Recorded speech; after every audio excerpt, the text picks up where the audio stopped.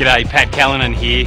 When you need the gear for touring our amazing country, if it's touring the outback, caravanning across Australia, or the toughest of four-wheel drive adventures, it all starts at Umhauer's Geelong Four-Wheel Drive and Tow Bar Centre. Solar panels, ARB 4x4 accessories, towing equipment, right down to the humble camper. Everything you need right under the one roof. It really is the one-stop shop. They even have accommodation available for out-of-town customers. You'll find them. I did.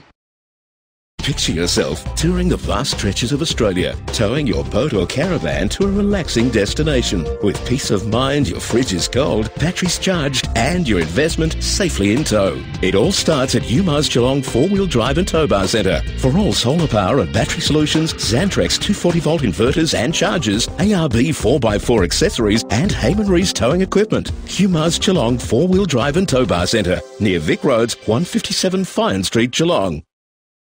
Diesel owners, enhanced engine performance and vehicle longevity. It all starts at Umhauer's Geelong four-wheel drive and tow bar centre. Umhauer's has the latest in Taipan XP exhaust systems and computer chip technology. Everything is professionally fitted and tuned, designed to make your travels and towing easier, safer and more economical. Gain power and torque and save dollars at the Bowser. Upgrade your diesel vehicle now. Exclusive to Umhauer's Geelong four-wheel drive and tow bar centre, opposite Vic Roads, 157 Fyans Street, Geelong.